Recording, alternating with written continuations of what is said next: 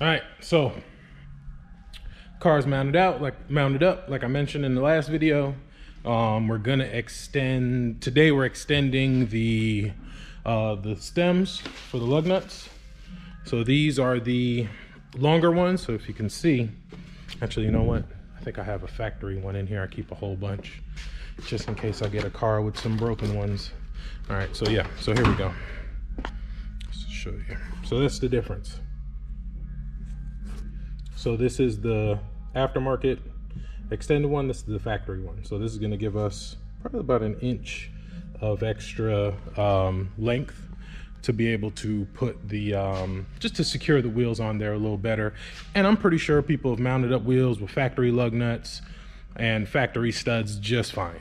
Um, I think even on my car, I have the factory stems, um, but my wheels, I actually grab a little bit more threads than um, what's on these. So uh, let me grab you a part number. So something you want to do,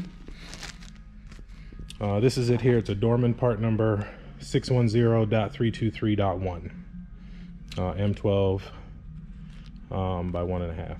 So this is it here. There, I want to say, much they cost at AutoZone. They're like three bucks a piece. So I need 10 of them. Um, so let me show you what I saw when I was putting the control arms on, what prompted me to even go this route. All right, so if you can see the diff cover, it's pretty oily.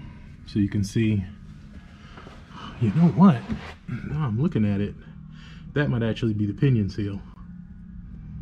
Mmm. Yeah, that might actually be the pinion seal, not the uh, diff cover because the diff cover wouldn't have it right here. It's coming back like that. So, hmm, do I change it anyway? I guess I do because uh, I gotta change the uh, the wheel studs. But yeah, I think that might also be a problem that he has is the pinion seal. So this rear end pretty much needs to be gone through.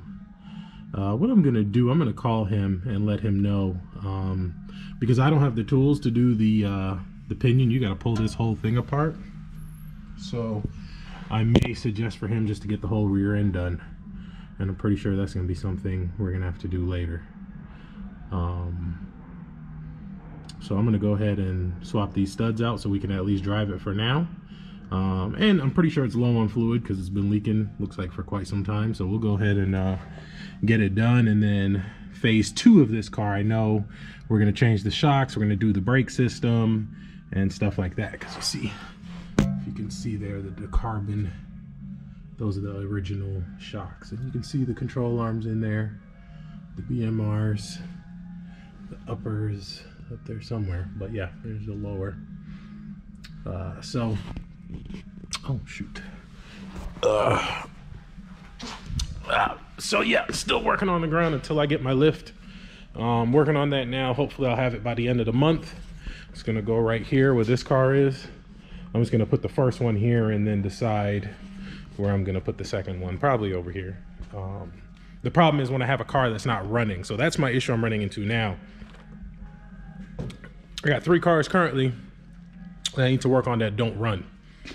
Um, so I'm trying to get these running cars out because once I bring the three running car non-running cars in here, there will be really be nowhere to put anything else. So uh, this one will be done today. What I'm going to do, I'm going to go ahead and put uh, reseal the diff, put the longer studs in, put everything back together, and then I'm going to drive it home and park it at home in the garage to free up this space because I still have to send the computer off to get uh, program.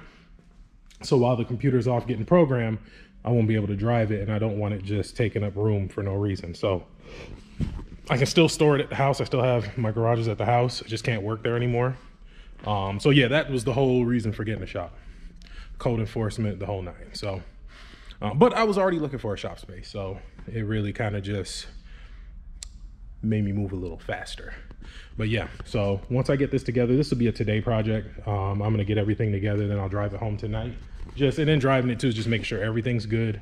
Um, I'll park it at home in the garage, and then um, I will uh, probably drive my Mercedes here tomorrow, and then take the truck back home, and I'll leave the Mercedes here a couple things I need to do to that. So, and I can just, so I got plenty of space to park it. So, um, so yeah, so um, we'll snatch this diff cover off. Once you pull the diff cover off, I'll know. Actually, you know what? Look at this. Look at this. So I'm working on this bent axle, trying to get this apart. So you can kind of see how it looks when you snatch off a diff cover. If you notice, this rear end severely bent. So the problem I'm having now is I can't get the axles out because it's bent. So I even tried cutting it. So this is what it looks like when you open it. This one's upside down because you can see the mounts there, but same concept. Once you open it, the axles come through and then there's a little C-clip that holds them in. So all you gotta do is push the axle, push it in, and you'll see it pop out there and you pull the C-clip and then you can pull the axle out. It's pretty simple. I'll show you the C-clip is right here. it's, it's not hard. It's a little intimidating if you've never done it. I mean, the first time I did it, I was kind of nervous, but so this is the C-clip here. You could just grab it with a uh, with a magnet and basically it goes, there's a little notch in the axle there and it just goes in there and you pull it out and it keeps it in place. And then there's a, a pin, like a long pin. Um, I, I don't know where that is. It's around here somewhere. But there's a bolt that holds the pin in and then you pull that pin out and it allows you to remove the axles. Um, and then we'll just pull the axles out and swap over the studs and it'll be nice and safe. I'm actually gonna do it on my car too because I'm gonna be, uh, I wanna put slicks on my car at some point, take it to the track at some point. And at the track, you have to have a certain amount of thread showing um, on your wheel. So the the other 96 I did with the LS, um, they had to shorten the rear end to fit the bond speeds on there. They had already installed the longer studs, and so you can see if he ever wants to put slicks on it, he can put it on there. So I'm about to pull this diff cover off and um, get these axles out and oh, I gotta put the car in neutral because you gotta be able to turn it. So that's no big deal. Oh, and uh, after I posted that video about the steering wheel, um, one of my subscribers, um, my boy Pablo, uh, you may know his car. It's a, uh, he used to have a like a candy blue Impala with like gold wheels and gold trim. I mean, everything was gold. The the Impala was gold. He had all this trim was gold. It was it was a nice car. So he um we he had actually pulled up on me when I was at the house one time.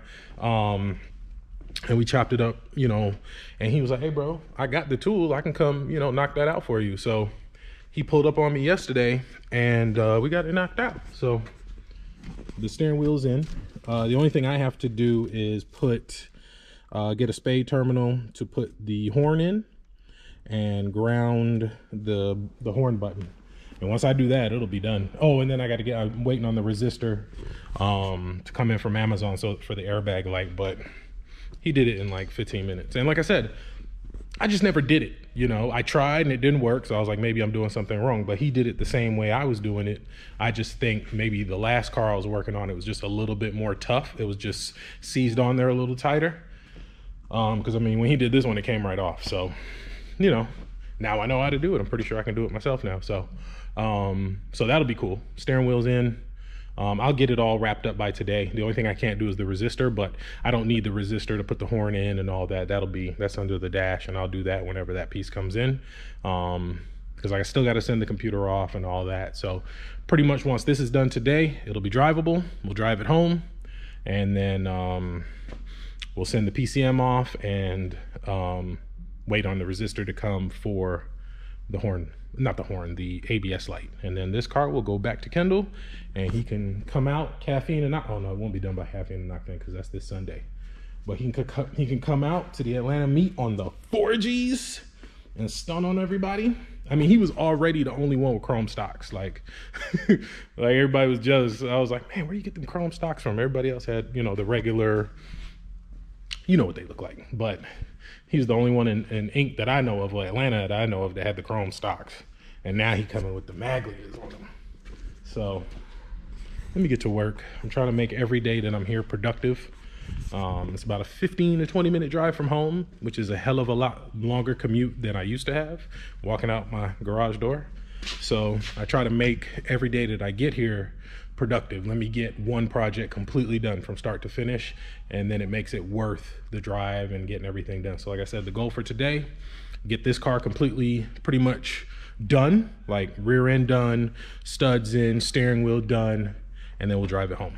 And then I may start on this, a few things on this, but I want to put one of the non-running cars here, and then I'm going to put the other non-running, I got a truck, a Suburban, I have to put an engine in here. And I want to put them here, and then I'll leave that open for cars that can come in and out. Almost forgot. I uh, have a few goodies that I got from Andy. Um, I had to go up there and pick up some stuff yesterday. I didn't film. I was kind of rushing, trying to get some stuff knocked out and move some stuff. But uh, ULS people like myself are gonna love this. So, Exhibit A, we got a 5.3 that's rebuilt. Um, stock cam, new timing pump, new bearings, new cam, new cam bearings, new chain, everything. This is going into a 2003 Suburban um, that I that I have to do. So it's at the house now to be over here in a few days.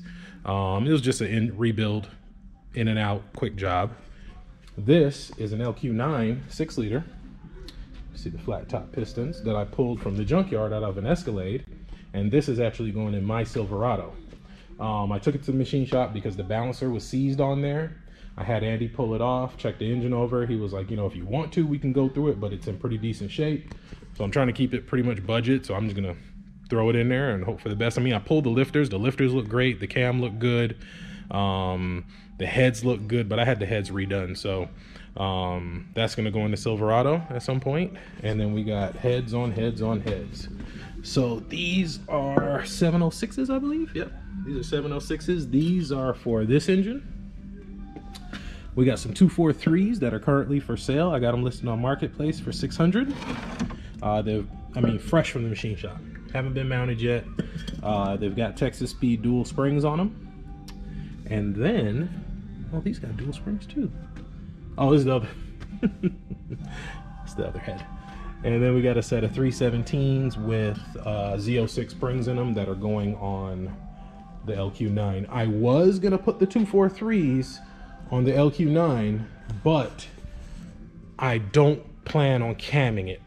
Um, so from what I understand, because of the smaller cylinder, um, on the smaller cylinder on the 243 heads and the high compression LQ9, it builds up too much cylinder pressure. And with a stock cam, it's not gonna run right. So I decided to just do the 317s with a stock cam because going in my daily, I tow with it. I just want it to run smooth because I have a cam in it now and I'm not happy with it. So, um, yeah, so we're gonna do the 317s on the LQ9. It'll just be pretty much a stock LQ, LQ9 with upgraded springs. I may put the cam that's in there, maybe, but I don't know. Um, and that's gonna go in the Silverado. 706s on the 5.3 and the Suburban, and the 243s are for sale. I had a couple people hit me up. There's a guy supposed to be coming today to get them. Um, if he doesn't get them by the time this video comes out, um, hit me up on Instagram, OTG Mechanic, if you're interested. I'm in the heads more than $600. I'll tell you right now. I'm in them probably 750 because I paid 300 for them and probably another 400 in machine work. And shit, I'm in them a, a lot because then the springs too. So I'm definitely taking L on them, but I just don't need them right now. And I need to recoup some money from getting the shop. And there's a couple things I need to buy for the shop. So I need them gone. Um, so let me get to work because I've been talking. So let me get to work, get this thing done so we can drive it home.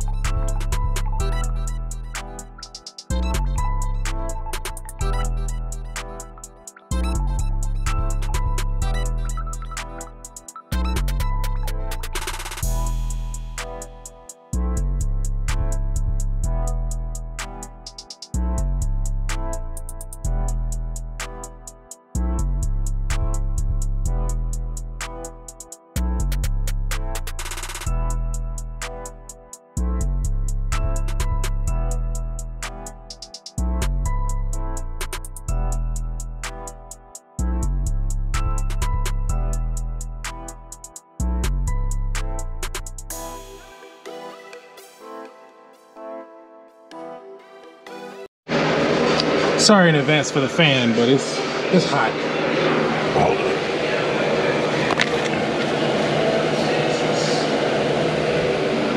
All right. Sorry in advance for the fan, but it's hot. Um, so I got the fan going. But uh, got the cover off. Uh, fluid is draining. Sprayed a little brake clean in there to help it out. Um, so yeah, you gotta take this bolt out right here, and then this pin will slide out.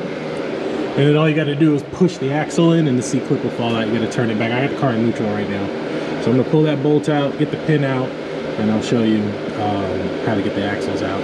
I mean, like I said, it's pretty pretty straightforward, and then we'll clean. Once I get all that done, pull the axles out, swap the the studs over. I'm still waiting on AutoZone to bring them to me. I only have like four of them here right now, maybe five, so I may be able to get one axle all the way done, um, and then wait on the other five. So let me get this apart, and uh, I'll show you.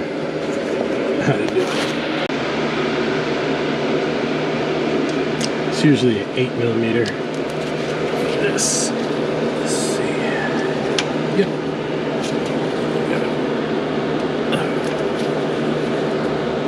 Ah, there we go.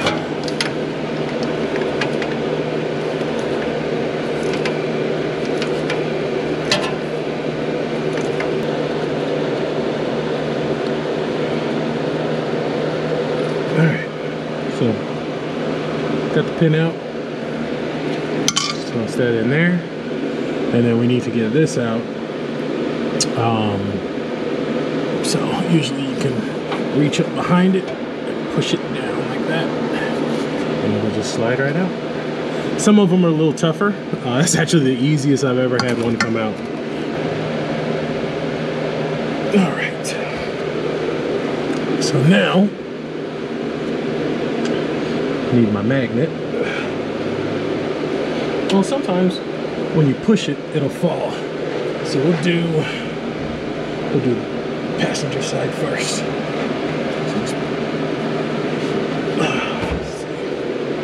Is it pushed in already?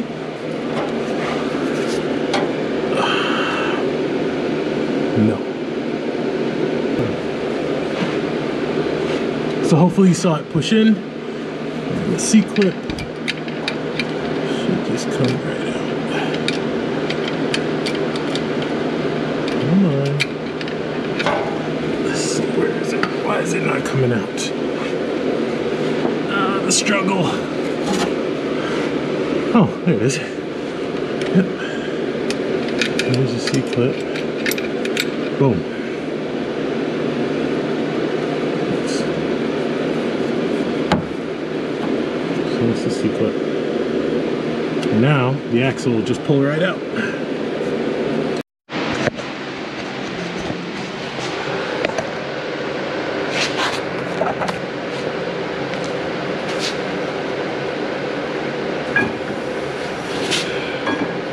There it is. And that's it.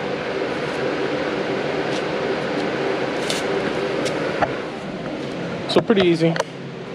And then uh, I'll take the take the axle over to the bench and we'll press these uh, lug studs out and get the new ones in. It's not too bad.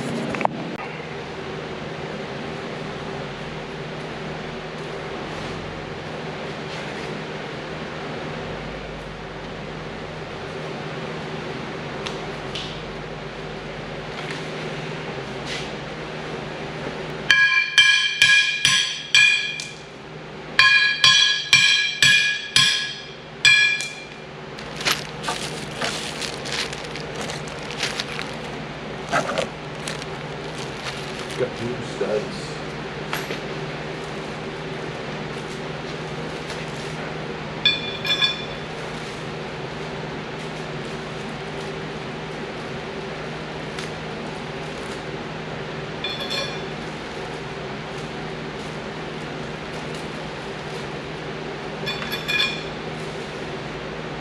In order to get the new studs in,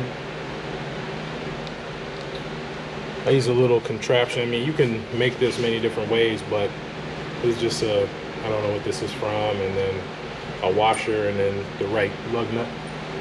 Um, so I put this like that. Put the washer. Put a lug nut. Start it on there to where it's snug. A few ugga duggas.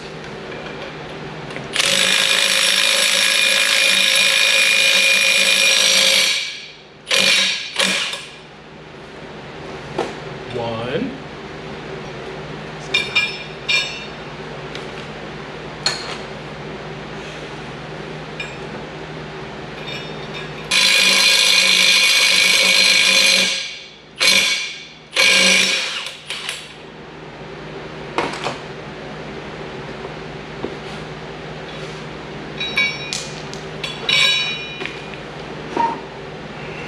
And that's it. So you'll get get them in there, and now you got longer studs. So put this other uh, put this other axle back in. I already finished the the other side. We'll get this axle in. Um, clean up the timing cover because it's all rusty. I'll paint it, make it look nice. Put some RTV, stick it on there, fill it with fluid, take it home. Man, I I just get in the zone and start working and forget all about the camera. Um, needless to say, I'm done. So now we got a good, good um, engagement of threads. So both sides are done. Um, I actually took it, drove it to AutoZone to go pick up some little spade terminals that I needed and an air filter for that car out there. And we got the uh, steering wheel fully installed now. So it's horn works.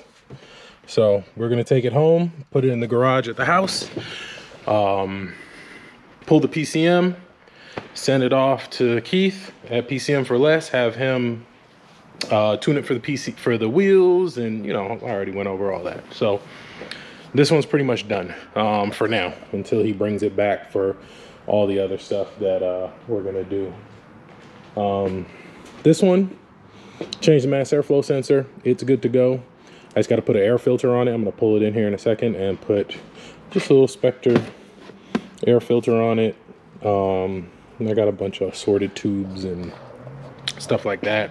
That's really the main thing. Um, I sent him um, some videos of the car running, did a mean burnout. Uh, so I'm pretty sure he'll be happy with that.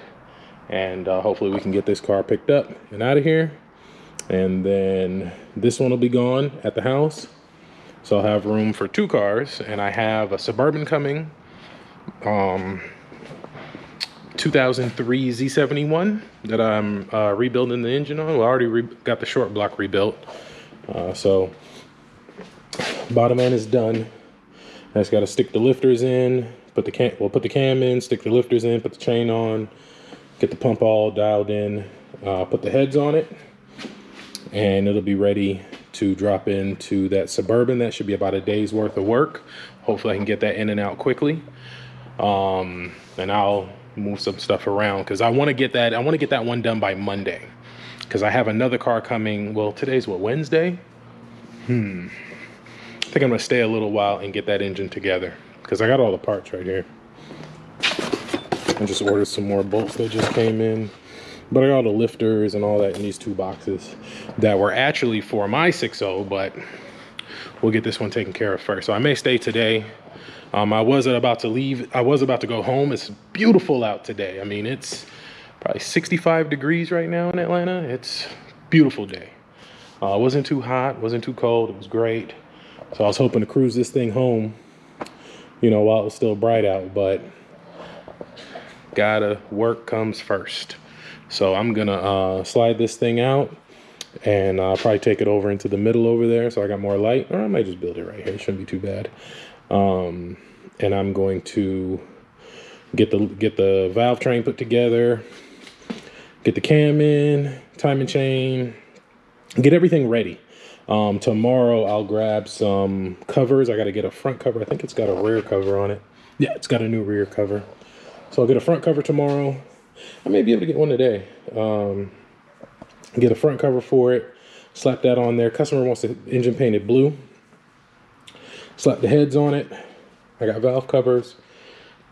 and get it ready to drop in. The um, the intake for it is in the truck. All the exhaust manifolds, all the other parts for this engine are in the truck at the house. So once I get the engine pretty much ready to go, I want that's my goal tonight to get this ready to be pretty much dropped in. Um, cause I still got to get like, uh, oil pressure sender, cam sensor. I'm going to replace all that stuff. So, um, I think I have a cam sensor on this motor I can use. Yep. And I just got to get an oil pressure sensor. I have one around here somewhere. So, get that motor together, get it ready to be dropped into Suburban. Hopefully I can get the Suburban here maybe Friday. Um, and then, or maybe Thursday, maybe tomorrow I can get it here. I gotta figure out how I'm gonna do that because it doesn't run and I don't have a winch on my trailer yet. So I'll get it here and then um, try to get that motor dropped in and get it running by, by Monday and get it out of here. Um, so that'll be one less thing to worry about. And then I have a 96 Impala at the house I'm doing an LS swap on. I think the last thing I got to do in that is the fuel system. So that'll be easy. Get the fuel system done. It'll be ready to fire up. And then I have another 96 Impala coming, a client of mine. Um, sat at a shop for like two years and they they got it running, but they used like a standalone harness for it, like a PSI harness. So originally he hit me up to get the cluster done. He was like, yeah, my cluster doesn't work. It has a swap. And I looked at the harness and I mean, it was, and in this car, I'll get to working on this, but I'll probably start on this after I get the Suburban gone. Um, because like I said, I, I only have room in here for about three vehicles. I can squeeze four, uh, but three comfortably. And since I'm going to have three non-running vehicles, um, once I start on this, this won't be able to be moved, but I can probably get it movable in a day. So I'm not too worried about this because I've got all the stuff for it over here. This is all the, I actually have to go through and see what I have because I ordered all this stuff like a month ago. So I got another box over there I need to bring and see exactly what I have for this car. Um, so I can go ahead and do it. But this car is going to be here a while, so I'm not too worried about it because um, there's still other parts I have to order that I haven't got yet. Um, so I may just get the front knocked out, get the shocks in there, and then we got to order the rear stuff, and then we're putting a full sound system in it. So um, we'll get that situated. And that's about it, guys. So in and out job. Um, looks way better. And then you see it's still flush, so they don't stick out like a race car. They're flush. So just grabs a little better. I, mean, I just feel a lot better about that. So we'll get we'll um, take this home and send the computer off, and we'll be good. And again, thank you everybody for your comments, the congratulations, um, everything. It's definitely appreciated.